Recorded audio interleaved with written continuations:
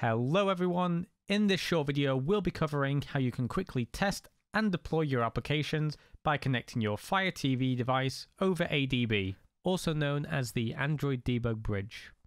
Before we jump in, a quick disclaimer.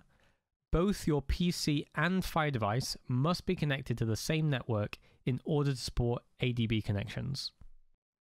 The first thing we need to do is head over to the settings menu from the Fire TV home screen, and then from here, select either device or My Fire TV, and then developer options. We then need to enable ADB debugging and to also accept apps from unknown sources. Then back out into the About section and then into Network. Make a note of the IP address on screen. This is the local IP address of our Fire TV device that we'll be using later. Now we'll set up our path. This will make it much easier for us to execute the ADB command without always having to be in the same directory as our Android SDK. This section is a little bit OS specific, so if you're a Mac user, feel free to skip ahead to the timestamp on screen now, and we'll start off with the Windows setup. So, starting off with Windows, the first thing we need to do is get the path to our Android Platform Tools directory. If you know where this is, then copy that to your clipboard and move on to the next step.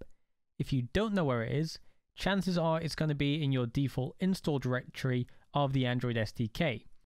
To find this, just hit the Windows key and then type percentage local app data percentage and then hit enter. Inside of Android and then SDK, there'll be a platforms tool folder which will have the adb.exe file inside.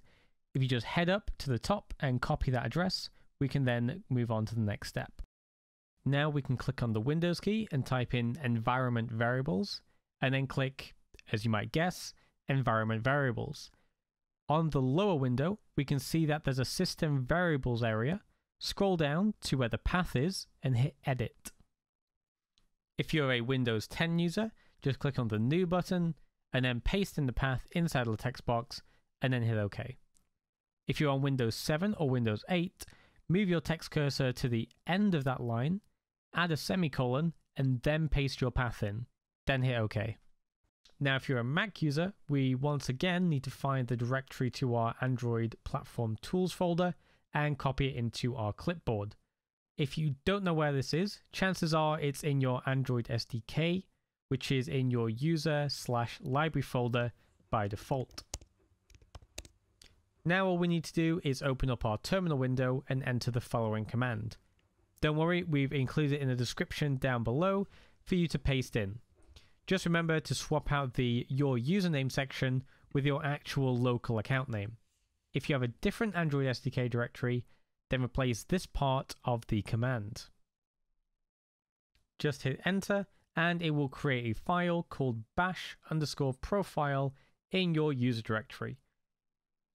Now type into the terminal cat tilde, that's the squiggly line by the way, forward slash period bash underscore profile. Then hit enter and we'll see that our Android platform tools are now set up in our path.